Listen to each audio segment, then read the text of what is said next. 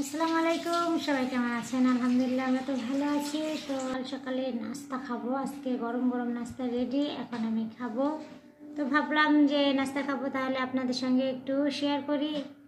তো সকাল সকালে আমি এখানে রুটি নিয়েছি, তরকারি নিয়েছি, আর এখানে জিলাপি আছে।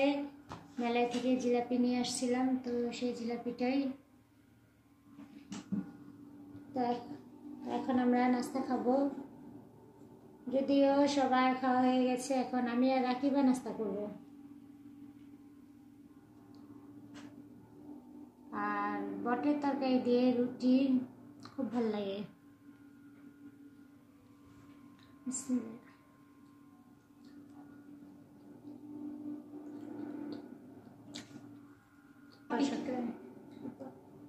পিপো তো পিপো পিপো তো সারাক্ষণ খালি দুষ্টুমি তো খাবার সময় একটু ভাবলাম আপনাদের সঙ্গে একটু কথা বলে আজকে ব্লগটা শুরু করি।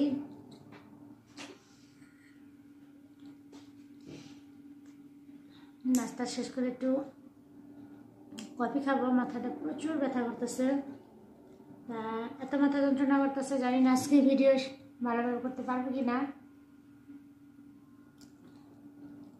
নাস্তাটা সেরে নিই তো রান্নাটা তো আজকে আমরা শেয়ার করতে পারিনি যদিও আজকে ঝটপট রান্না করলাম মুরগির মাংস। তো এই কাজে আমাকে হেল্প করছে রাখি আমি যেটা জিরে দিয়েছ? অবশ্য হুম বলো। আমি জিরা দিয়ে পুরো রান্নাটা করেছি। জিরা দিয়ে পুরো রান্নাটা আর হ্যাঁ আমরা রাখিবার জন্য অনেক খেলনা নিয়ে আসছি। আর সেই খেলনা দেখি বা সুন্দর সুন্দর রেসিপি আপনাদের সঙ্গে শেয়ার করবে তাই না আম্মু? একটু এদিক তাকায় বলো রান্না করতে পারবে?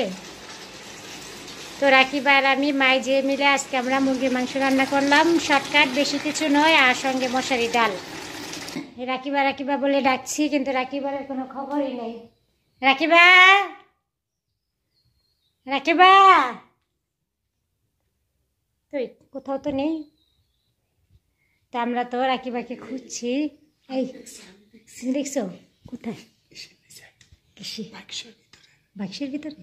আচ্ছা আচ্ছা। তো আমরা, আমি একটা গোপন খবর পেয়েছি ওনাকে বাক্সের ভিতরে। তো আমরা দেখি এখন।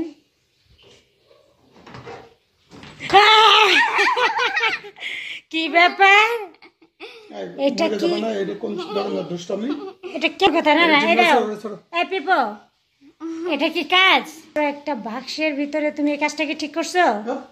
এটা মোটো ঠিক করে হ্যাঁ? আমি ঘুমাইতেছিলাম অনেক ও যদি দম বন্ধ হয়ে মারা যেত?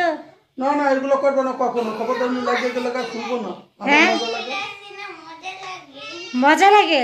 লাগে। লাগে? ওই যে বিচার কি হয়েছে? তোমার ধরছে? হ্যাঁ পিপো তুমি কিছু বলো এই যে তোমার জোর করে রাখছো এটার ভিতরে। পিপো। পাপা? কি বলে দিলাম? এসব কাজ তুমি করব না। বাবা কি বলছে? তোমার বাবা তো রেগে গেছে। এখন কি হবে? কি হবে? আবার একটু ঘুমাই।